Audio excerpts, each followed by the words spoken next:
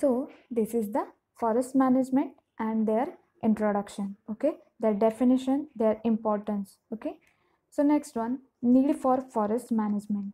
So forest management is required to avoid the following. That means or that is extinction of thousands of species, then heavy soil erosion, then greenhouse effect. Okay. So the, these are the need for forest management. So firstly, extinction of thousands of species. Millions of plants and animal species are in danger of disappearing as a result of deforestation. Okay जे पण deforestation होतं त्यामध्ये lots of ज्या पण millions of plant species असतील किंवा animal species असतील okay त्या destroy होतात किंवा डिस्ट्रॉय व्हायला लागतात okay so this is also need for forest management और conservation there plant species and animal species okay? The next one heavy soil erosion. One function of the forest is that its roots hold the soil in place. Then greenhouse effect the continued degradation of our forest heighten the threat of global warming. These all are the need for forest management. Then next one flooding landslides then degraded watershed flooding one major important of forest is that they absorb water quickly in great amount during heavy rain and avoid flood. Then landsliding trees prevent soil from getting eroded by natural agents like wind or water. Then next one degraded watershed. When forest mountains are denuded watershed are degraded and this leads to the loss of sustained water supplies for lowland communities. Okay so so these all are the need for forest management. Firstly extinction of thousand of species okay? Then heavy soil erosion greenhouse effect. Forest management is required to avoid the following. Extinction of thousands of species then heavy soil erosion then greenhouse effect then flooding landslide degraded watershed okay? So the next one methods of managing forest तर forest management करण्याच्या methods कुठल्या कुठल्या आपण use करू शकतो so firstly afforestation afforestation means afforestation is the establishment of a forest or stand of trees in an area where there was no forest. Then next one, reforestation and sustainable forest management. So reforestation, reforestation is the restocking of existing forests and woodland which have been depleted and effect of deforestation. Then sustainable forest management. Sustainable forest management that means SFM is the management of forest according to the principle of sustainable development okay so these all these three are the major me- methods of managing forest that is afforestation then reforestation sustainable forest management that is sfm okay so avoiding avoiding wildfire a wildfire is any uncontrolled fire in combustible vegetation that occurs in the countryside or a wilderness area so, avoiding wildfire. A wildfire is any uncontrolled fire in combustible vegetation that occurs in the countryside or a wilderness area. Okay. So,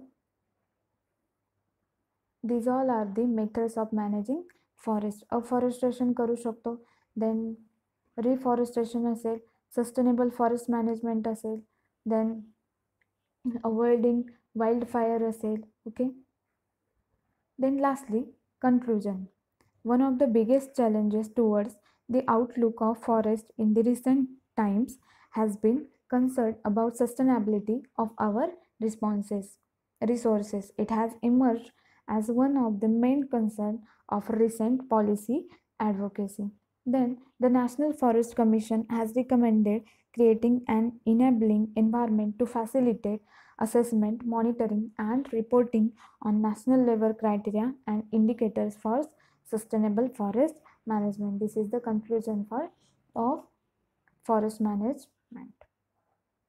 Then next point is forestry laws. In India, the national and state government are jointly responsible for the sustainable management of the forest resources.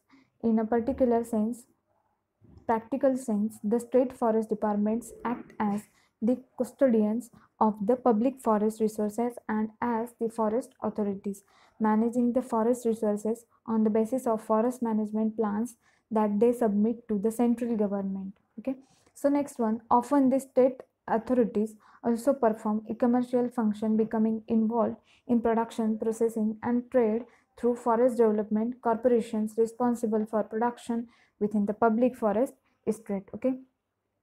सो जे पण आपले forest resources आहेत त्यांचं जे पण होणारं deforestation असेल okay so किंवा त्यांचं जे पण होणारं डिस्ट्रॉय असतील तिथल्या वेगवेगळ्या प्लांट स्पेसेस असतील ॲनिमल स्पेसेस असतील त्यांचं होणारे जे त्या जे पण त्यांचं जे प्रमाण आहे तर ते कम डिक्रीज होत चाललं आहे किंवा ज्या पण स्पेसीज आहेत तर त्या डिस्ट्रॉय व्हायला लागल्या आहेत ओके सो त्यांचं कन्झर्वेशन करणं गरजेचं आहे ओके सो त्यामुळे जे गव्हर्मेंट आहे त्यांनी वेगवेगळे लॉज किंवा पॉलिसीज क्रिएट केलेल्या आहेत जेणेकरून की जे पण ऑल फॉरेस्ट रिसोर्सेस आहे किंवा एन्व्हायरमेंट आहे त्यामधले असणाऱ्या ज्या पण वेगवेगळ्या प्लांट स्पेसेस असतील ॲनिमल स्पेसेस असतील त्यांचं कन्झर्वेशन व्हावं. As the Indian forest act of nineteen twenty seven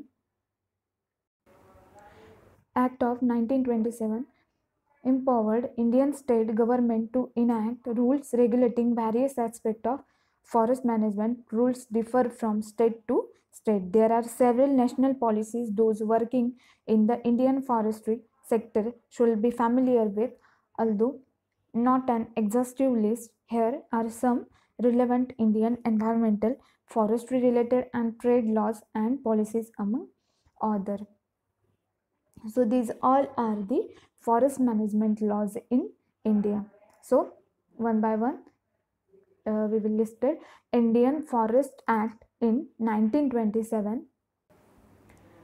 Then the Forest Conservation Act 1980 and the Forest Conservation Rule 1981 updated in 2003. The next one the National Forest Policy 1988 comprehensive sorry compensatory afforestation fund management and planning authority that is CAMPA national mission for a green india that is GRM the national afforestation program NAP wildlife protection act in 1972 and the wildlife protection amendment act 2006 the scheduled tri- uh, tribes and other traditional forest dwellers recognize uh, recognition of Forest Rights Act in 2006. The Scheduled Tribes and Other Traditional Forest Dwellers Recognition of Forest Right Act 2006. This is repeated.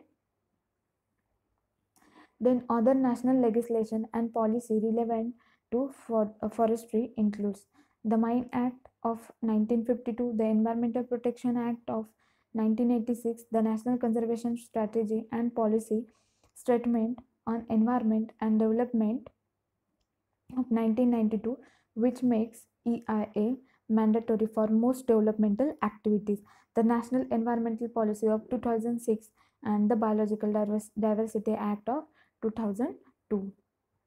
The next one, Joint Forest Management, often abbreviated as JFM, is the official and popular term in India for partnership in India movement involving both the state forest departments and local, local communities.